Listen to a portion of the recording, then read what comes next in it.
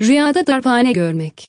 İhya, madeni para basan kimseyi görmek kovuculuk yapan kimseye, değişik meslek erbabına, para basıcı bazen emaneti sahibine veren ve beş vakti tam olarak kılan kimseye, bazen de dini bir konuyu yahut rüya tabirini güzel bir şekilde yorumlayan kimseye delalet eder. Diyanet, madeni para basan kimseyi görmek kovuculuk yapan kimseye, değişik meslek erbabına, para basıcı bazen emaneti sahibine veren ve beş vakti tam olarak kılan kimseye, bazen de dini bir konuyu yahut rüya tabirini güzel bir şekilde yorumlayan kimseye delalet eder.